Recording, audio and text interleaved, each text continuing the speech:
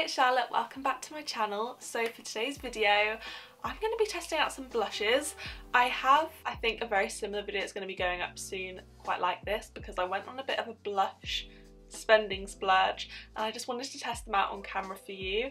So today I'm going to be testing out the e.l.f. Putty blushes. Putty? Putty? However you want to say it. But um, yeah, I can't actually remember exactly how much these were, but I will get to that in the video. But yeah, if you'd like to see me testing out these blushes, then please carry on watching. So these blushes are £6, which is, I just think, quite a good price. I got these from Superdrug, so they were actually on three for two at the time. So I actually only technically paid for two of them, which is kind of why I got three. They say lightweight buildable putty to powder blush blends seamlessly into the skin. Gives you a flushed from within glow. I got three shades, so I got Tahiti, Bahamas and Turks and Caicos? Chaos?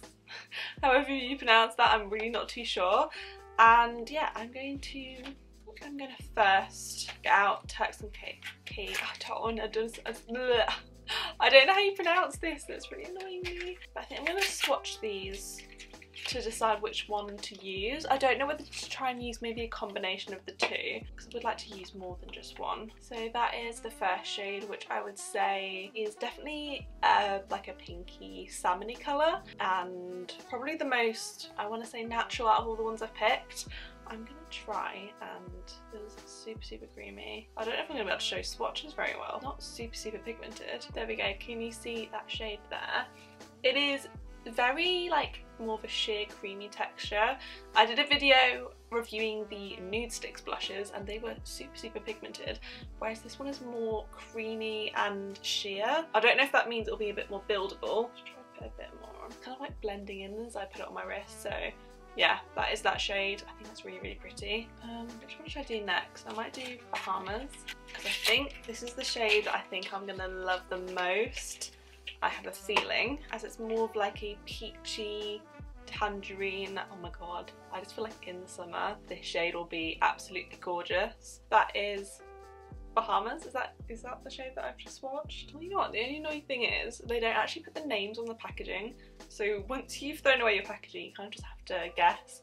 But that is Bahamas there. Oh, that's such a lovely orangey shade. I really hope that picks up on your face that colour because it just looks gorgeous. I've got Tahiti which I was kind of hoping would be like a reddish berry colour which I have been loving and I kind of want more reddy blushes because I just think in the summer and especially with a tan I just think it looks super super pretty. So there we go as you can see it's a bit more of like a berry tone, a little bit like, it's a pinky red still, it's not like a red red. I was kind of hoping it would be a bit deeper than the orangey one. To be fair, is it deeper? I think it's kind of like a darker version of the top one, but I do also really like the shade. I think that's super, super pretty. I don't know if those shades are picking up on camera. So there we go, those are all the, the shades. I think I might zoom you in now and attempt to put some of them on my cheeks. what shade are we thinking? I think for today just for testing purposes because I just think it would be the best way of testing the most of them out. I actually think I'm going to go for the two pinky shades. I'm going to start off with Turks and the light pink one basically, I'm sorry, I just can't, I just can't pronounce it. And what I think I'm going to do is do this on both cheeks. I'm going to use a sponge and a brush. And then I might pick another shade and do it on top because I think that way I can sort of test out two different shades. So I think I might do sponge first. Let me just get a mirror. So I'm just going to dip in with my really dirty beauty blender. I apologise. Do you know the only thing I hate about doing this? You get all like the beauty blender hairs in this and it actually upsets me. I don't know what does anyone else do, but okay, I'm just gonna cover and I'm just gonna go in on this cheek.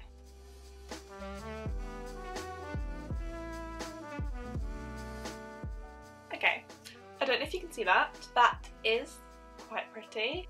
There's not much there, is there? I think I might pick up a little bit more.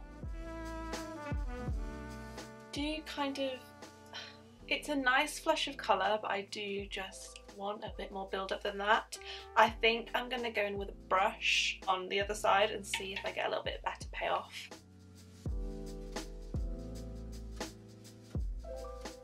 Ooh, that's a little bit better brush definitely picks it up a lot more. To fair, I was kind of expecting that because I mean that's just the experience I've always had, like a brush just packs on a bit more than the sponge. Yes, I much prefer that. Okay, I might go in on the other side with the brush as well just to even out a little bit. There we go. I also went in with my finger a little bit there just because I actually think using your finger also really works well with these as well because they're so sort of creamy and sheer. Think the finger works really well with these. I probably wouldn't recommend using a sponge because honestly you don't get much colour out of that. I think next up, do I want to go more orangey or pinky? I want to go more peachy if I'm going to be completely honest. I'm going to go with Bahamas. I still don't really like that it doesn't say the shade name on the packaging. That annoys me a little bit but it's okay. I might go in with the brush first and see how we go.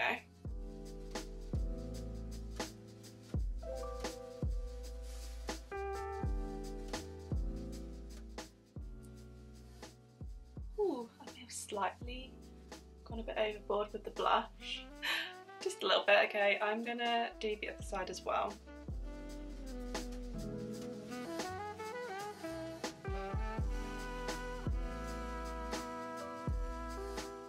So there we go, that is my blush. I hope it's coming off well on camera. I actually really, really like it. I think it did take quite a bit of building up. It's definitely not a blush that like as soon as you put it on you can see the colour. You do need to build it up for quite a while. I want to say you have to work quite quickly because it does, it's a cream to powder blush so you can't just sort of put it on and then wait for a while. You do need to blend it out quite quickly because I did notice whilst blending it does start to dry a little bit but I mean as long as you're fast enough it's fine and I actually really liked all of these shades. I possibly think the Turks and whatever this one's called is quite of a light colour. Like I said, when I used a brush and I used my fingers, it did build up a bit, but personally this shade is quite light. And I don't know if there's any shades that are lighter than this but they possibly wouldn't show up as much either. So I'd actually probably say I was quite scared to pick up like the darker shades but because they're quite sheer don't be scared. Honestly you can just buy the bold bright shades because they blend out into nothing if you want them to um basically. So yeah I'd say just go for whichever shades you want. I think this one I'm gonna like as well so I think these two will possibly end up being my favorites.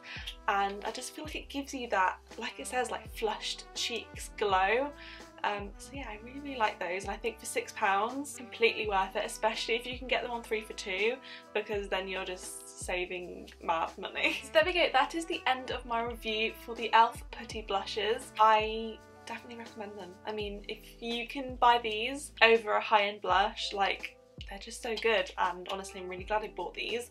I'm always open to adding to my blush collection. the fact that I got three of these, I am glad that I really like the formula and yeah, I just love how creamy they are and buildable. The fact that you don't put on too much too quickly. I definitely would be interested to get some more shades but I think like the Bahamas and the Tahiti are absolutely beautiful. But yeah, I really hope you enjoyed this video. If you did, then please give it a big thumbs up. And don't forget to hit the subscribe button if you're new to my channel.